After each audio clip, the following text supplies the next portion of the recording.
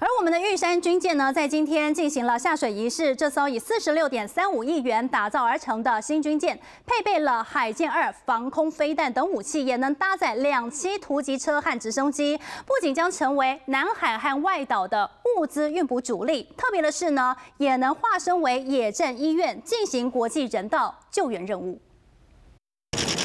拿起小斧头砍断细绳，为新船直平。总统蔡英文到台船高雄厂区主持新型两栖船务运输舰下水典礼，也为新船命名。我满怀喜悦的为你命名与直平，祝福你未来航行四海顺利平安。现在我命名你为玉山军舰，以台湾百越之首的玉山命名，象征海军追求卓越、克服困难、坚定捍卫海疆的意涵。以前也有以玉山命名的的军舰，今天新型两栖船坞运输舰再次命名为玉山，除了代表传承，也象征中华民国国军不怕挑战、克服万难的精神。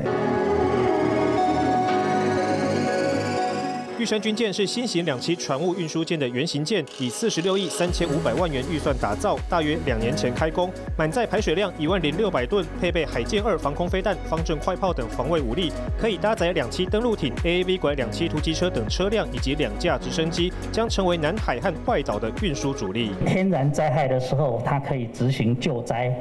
那临时的野战